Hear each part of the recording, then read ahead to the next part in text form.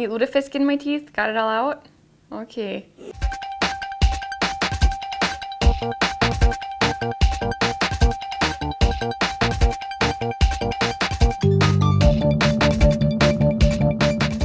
Oh, come on. Put on a real jacket. Oh, jeez. Oh, yeah. Yeah, sure. You betcha. Oh no, I forgot all my reusable bags for the co-op. Oh. Oh. Oh.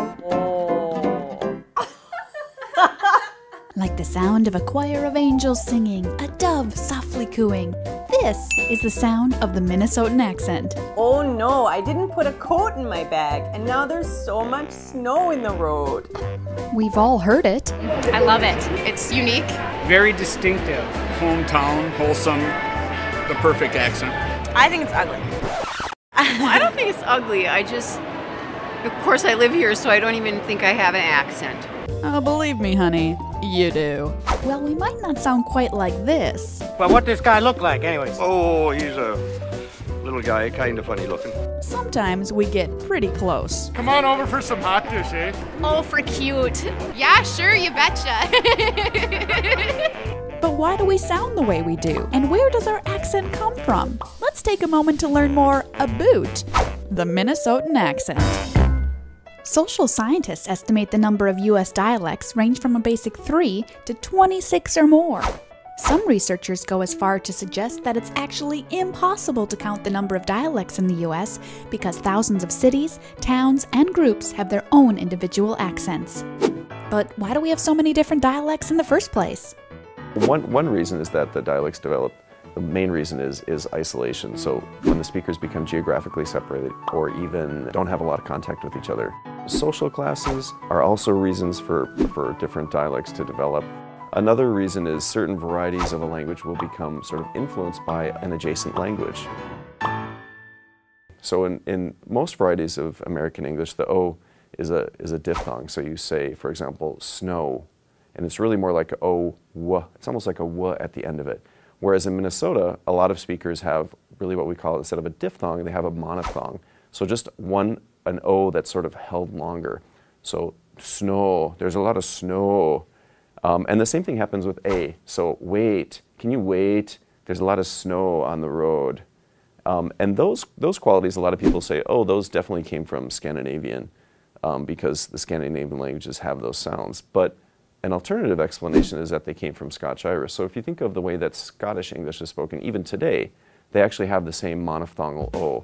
So there's a few clues to our accent's origin, though no one can really say for sure. But one thing is for certain our dialect is one of a kind, and it's pretty famous around the country. I lived in New York for three years and I was constantly the uh, subject of ridicule for, for many words. I like it when we say things like boat and about and up north, things like that. You betcha. You betcha. Or yeah, yeah, yeah. They love yeah.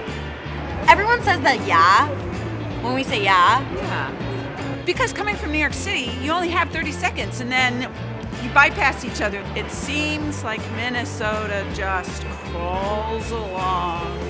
But I think it's due to people thinking things through before they speak them. To master a dialect is more than just knowing how words are pronounced. It's also about sentence structure. And the Upper Midwest dialect, aka the Minnesotan accent, has a unique construction that you might not hear anywhere else in the country. One of the biggest constructions that people notice when they, when they come here is the come with construction.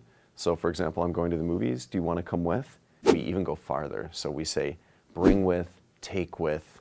Um, we'll say, oh, well, I am not done reading this book. Well, just take it with is something really normal to say here. And in other parts of the country, they feel like something's missing. Take it with you. I have a very, very strong suspicion that the come with and the take with construction comes from Scandinavian and German.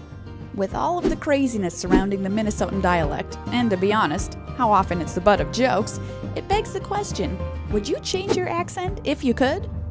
No, I don't think so. Not entirely. No, I wouldn't lose it for anything. I think it, it defines who I am. I'd be losing part of myself.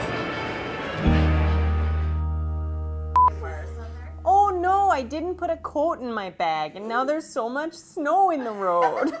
Who started? Leaf Okay, that's okay. I'll do it again. Oh, geez, where's the snow scraper? I thought I put it right here. Oh, no, I didn't. Take a breather. I like to hold some lutefisk real close on a cold, snowy day. Oh, yeah.